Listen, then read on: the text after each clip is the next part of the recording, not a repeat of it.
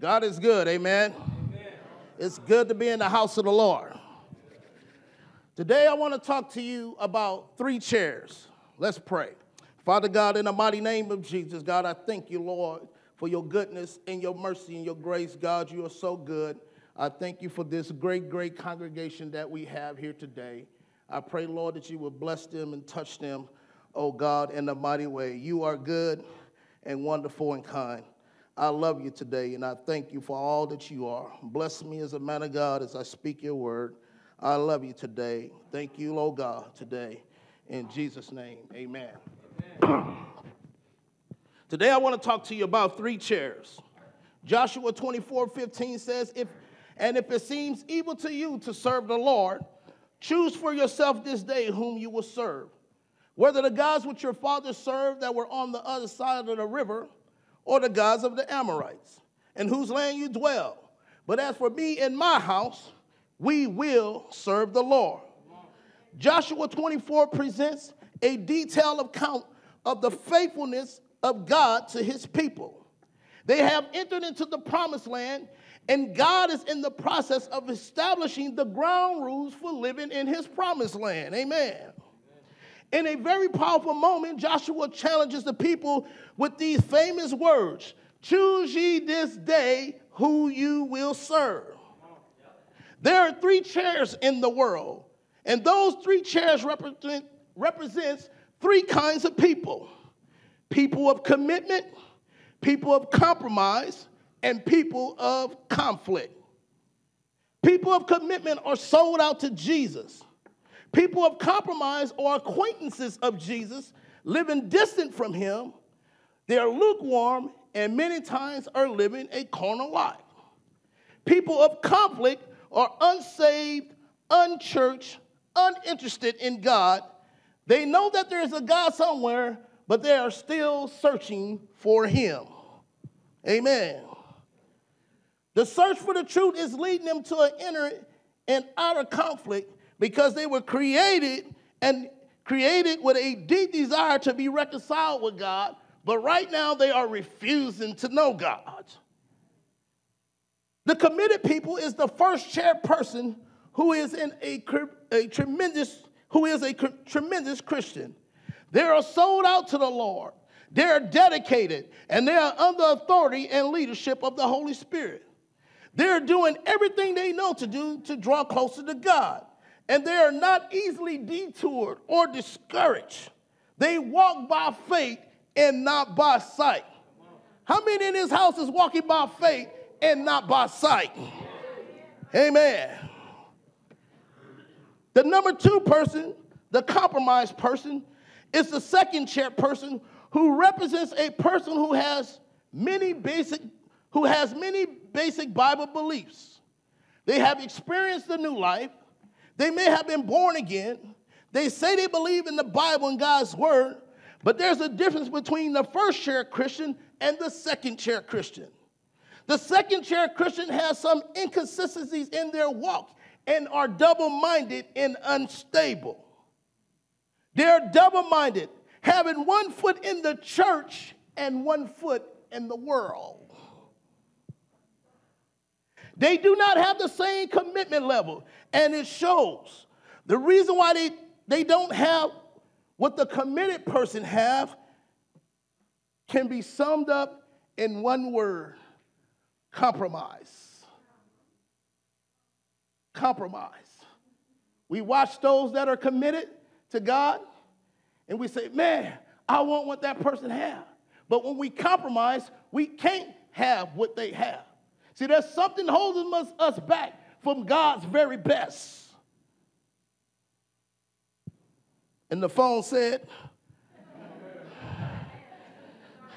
No, no, thank you. Compromise means, check this out, to settle a dispute with someone, with someone else by lowering your standards or morals. Woo. That's what it is. You make a settlement. Okay, I'm going to lower my standard and morals so I can hang out with you. Oh boy. The number three person is the conflict person. It represents the third chair person who does not confess to be a Christian. They're not in a right relationship with God, and they would not deny that fact. Oftentimes, they will confess that they believe in God, but deny that Jesus is the only path to salvation. They presently have no walk or relationship with God, and they are just freestyling with their life. Whatever happens, happens. And then they make a joke about even going to hell. But let me tell you, hell is no joke. Just one bar- big barbecue, and you don't want to be invited. You can sum up their walk in their life with one compound word inner conflict.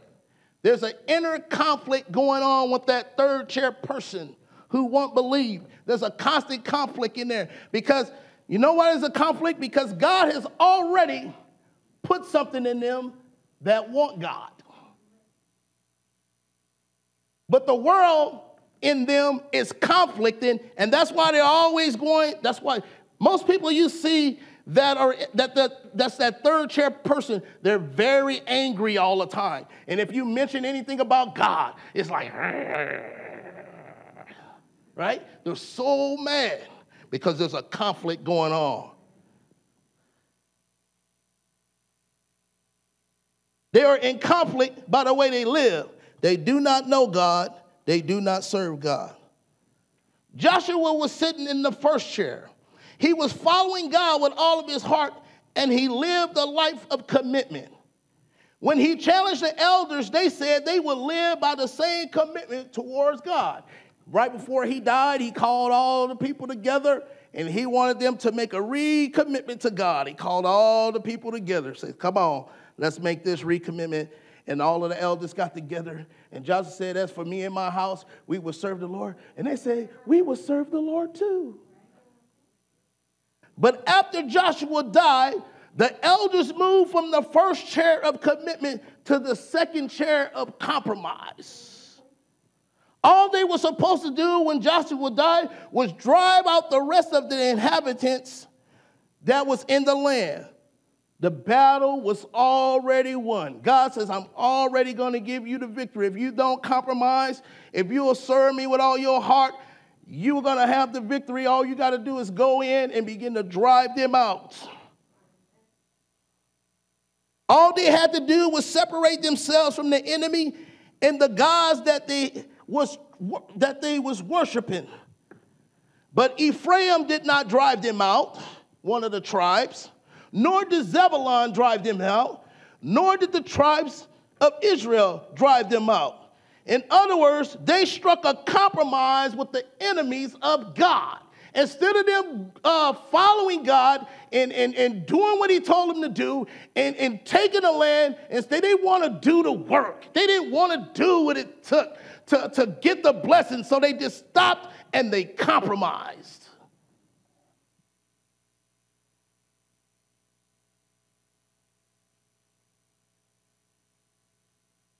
Let's look at the great promise God gave to the children of Israel in Joshua chapter 1, verse 1 to 4.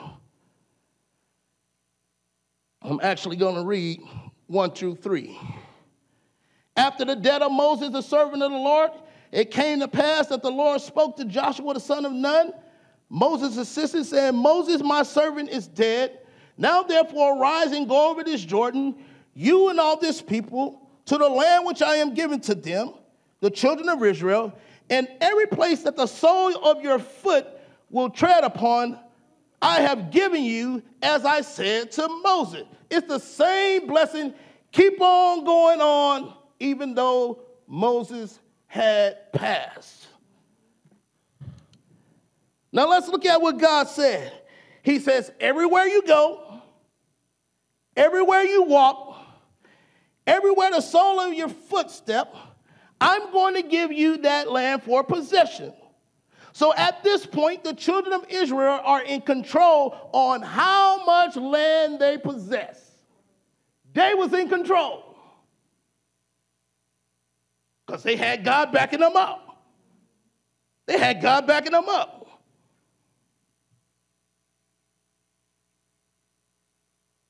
God, in his covenant through his word, has unconditionally given them the right to have all of the land.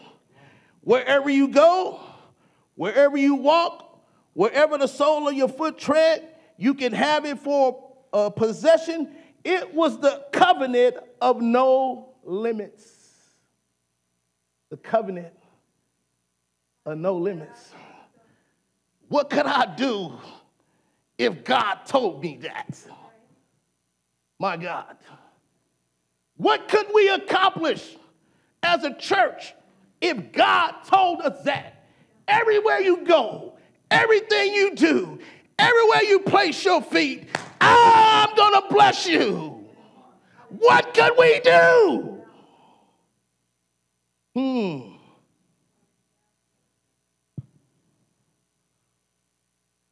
Sadly, according to historians, God promised the Israelites over 300,000 square miles of land.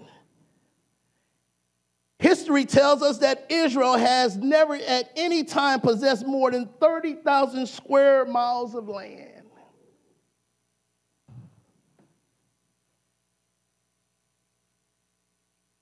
They limited their inheritance and their reward by their own steps.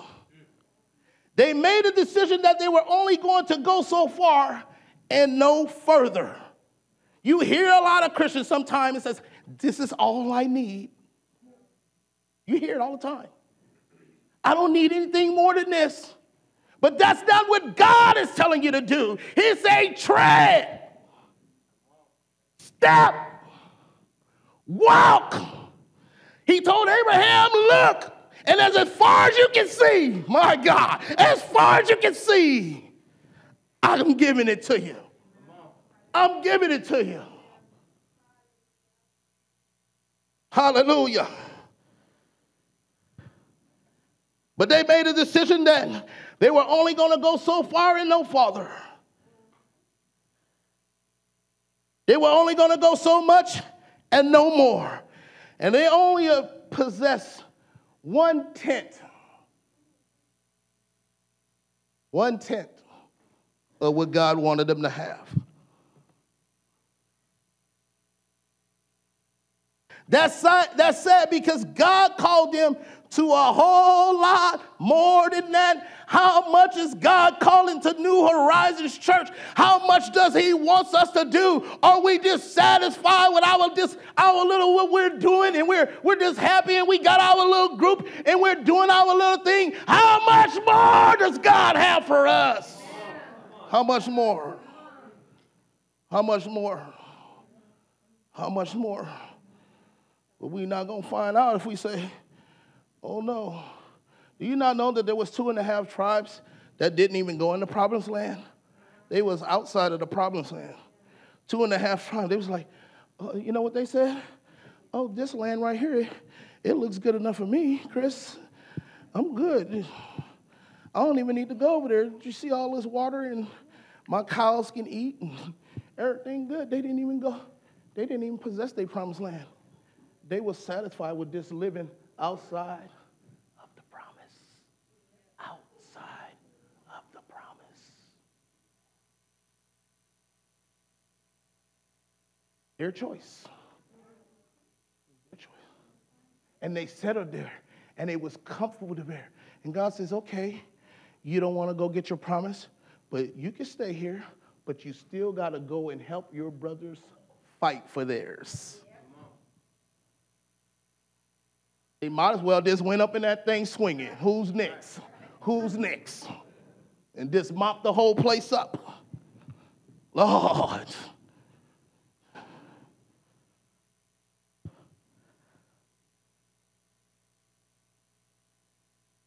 Joshua 1 4, 1 4 and 5 says this.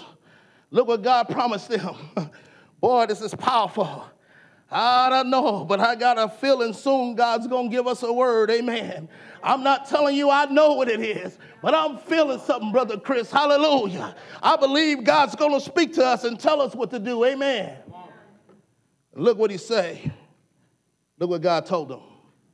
From the wilderness to this Lebanon, and as far as the great river, the river Euphrates, all the land of the Hittites, and to the great sea toward the going down of the sun shall be your territory. No man shall be able to stand before you all the days of your life. As I was with Moses, so will I be with you. I will not leave you nor forsake you. God says, everything that I just listed is for you. All he got to do is speak, and it's going to happen. Ain't nobody to be able to fool with you. It ain't to be arrogant or cocky, it's to be blessed. I'm blessed by God. God says the Hittites has got the gold, so they got the gold. We can't be like, oh, I don't want the, I, I feel bad for the Hittites. No, they was wicked. They didn't want to serve God. They didn't want to do what God wanted them to do, and God says, it's over. That's y'all's now. Hallelujah. It's y'all's now. You can feel sorry for the devil on your promise if you want. But hallelujah, Lionel wants to kick the devil off of his promise. Hallelujah. We got to kick him off. You got to kick the devil off of your promise. You can't let you can't feel sorry for the devil. I don't care if he comes in the form of the Hittites, or the Jebusites, or the Girgashites, or whatever kind of ite. Let me tell you something. Any kind of ite that's on my promise has got to go. You got to go. Gotta go. Mmm. Mmm.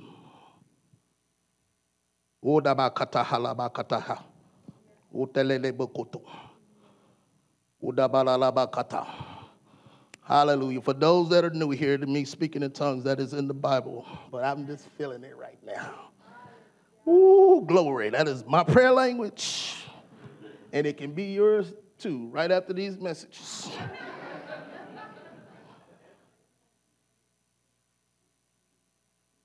mm. Whoa, glory to God. Hallelujah, hallelujah. Hallelujah.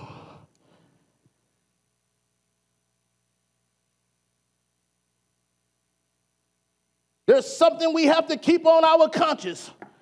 When we slide from the first chair to the second chair, it, it makes it easier to slide to the third chair. The third chair always leads into a life that is in direct conflict with God. The devil wants you to be in conflict with God, not getting close. He's trying to push you away from your stuff, but you need to let everybody go that you know that is so evil and they ain't changing. Get away! Get away from them! Get away from them. Nah, I'm not hanging with you Jebusites no more. Y'all, y'all be jabbing. Can't do it. Trying to stop me. The devil trying to stop somebody in this room from getting to your promise. But God has great promises for you. Hallelujah. He got great promises for you, my son. You got to watch them Jebusites. We got to watch them. I'm always watching. You know, they want to attach themselves to you. but you're not going to be as blessed attaching yourself to them. We're not. I'm not. They're always trying to attach themselves to me, and I have to be much careful. But God has great promises. Great. Great. Oh, all he got to do is tell you from here to there and over there and over there is yours. And you can write that thing and cash it in. You can dig a hole in the ground with that promise, put it in the ground, and let it grow. And I promise you, because God said it's going to happen, even though it's on a piece of paper, guess what? It's going to happen. I can promise you. Woo. Feeling blessed today. yes. Mm. Three generations removed themselves from the faithful Joshua. They had moved from commitment to compromise, to actually having a generation that only served God in name. They were God's called people, but they had no relationship with Him. It is like that church in the book of Revelations. It said that they had a name that lived, but they were dead. The first chairperson sitting in the seat of commitment to Jesus often finds himself at odds with the world. Their value system is different from the world. You can't mix oil and water. It just don't mix real good. Pretty soon you're gonna lock your engine up if you pour a gallon of water in the oil. but peace with God always trumps over anything that the world has to throw your way. God delivers his people when they are faithful to him. You don't have to worry about what nobody else is doing. You don't have to worry about no threats. You don't have to worry about your enemies. All you got to do is keep yourself right with God and watch God go before you. Hallelujah. Watch God go before you. Isn't that what he did with Israel when he called them out of Egypt? They didn't know what he was going. He said, just follow me. Whenever you see the cloud move, you start moving. Whenever you see the cloud stop, you stop. And that's how you get your victory. When God is moving, you move. When He stops, you stop. Hmm. Nothing more, nothing less. Sometimes we get impatient.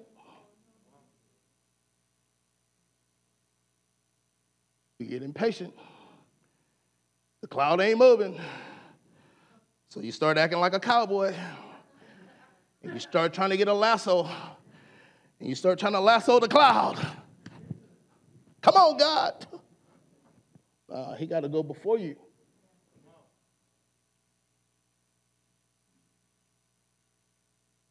The second chairperson who sits in the seat of compromise is a person that knows the key points of the Bible. They read the Bible with common sense glasses instead, instead of spiritual glasses. They say you cannot get too religious. They say, I believe in Jesus. They say, I go to church on Sunday morning.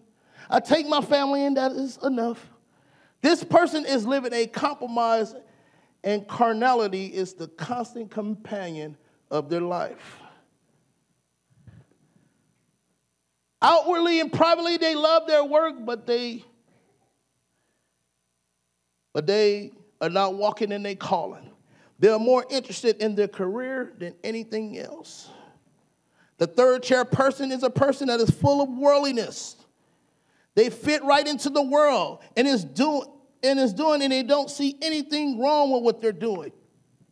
Their definition is nobody has a right to define what's right and wrong in other people's lives. Well, let me tell you something. That is a lie. Let me ask you a question. How do you think the world would be if it had no rules? How would the world be if it had no rules? It'd be grimy. It'd be real grimy. If it didn't have no rules, we would be getting violated every day and you would be violating every day because you really wouldn't have no choice. Because if somebody took all of yours and if everybody taking, guess what? You're going to have to start taking. It'd be real grimy with no rules. I watched a movie years ago where for one day they didn't have no laws. I don't remember what the name of it was, but it was going down. They didn't have no laws. and it got real grimy. Real grimy.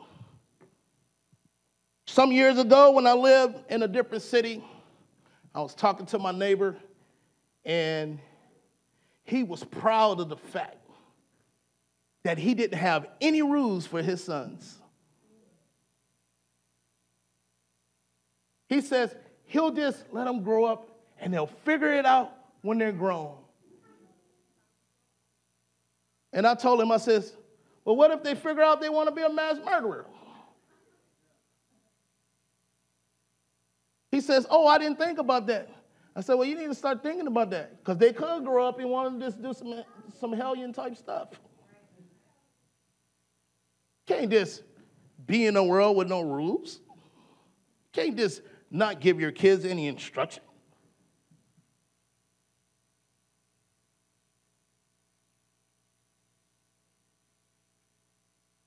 Everybody is sitting in one of these chairs. When you go through the Bible, you see that there is a generational slide all throughout the Old Testament. In the 21st century, we see the same pattern.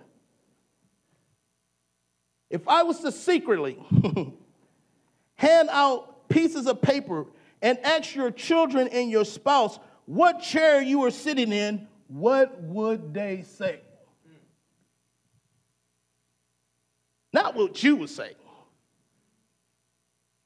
What would your children say? What would your spouse say? Would your spouse say, Oh, she's definitely in the third chair?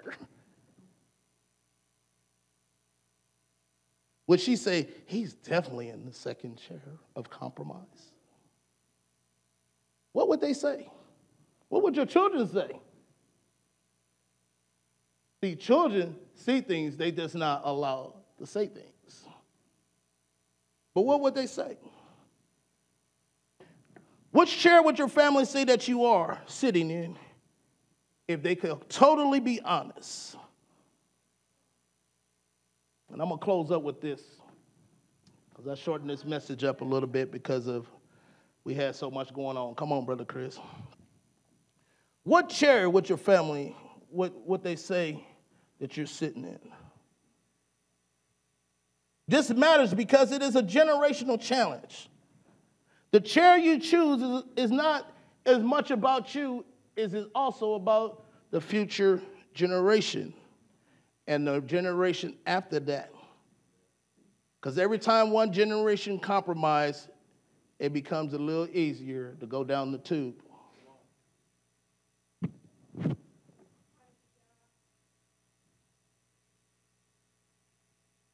What would heaven be like if we chose the third chair?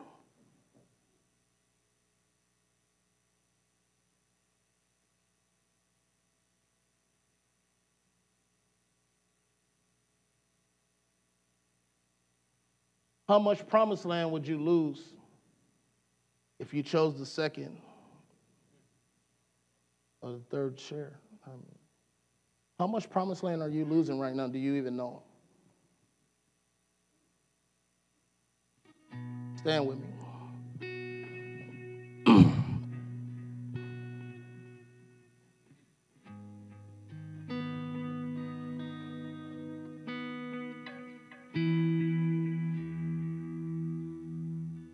What are you today? Are you committed? Are you compromised? Or you're just plain old conflicted? What are you today? We're all somewhere.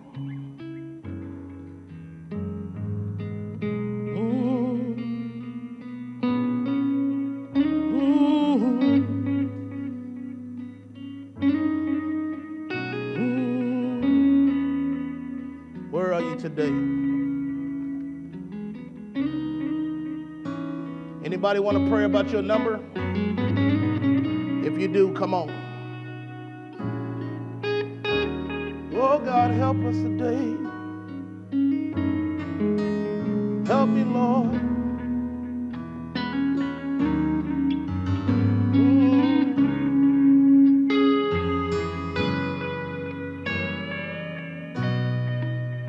Come on, the altar's open. Let's let's talk to God. Come on.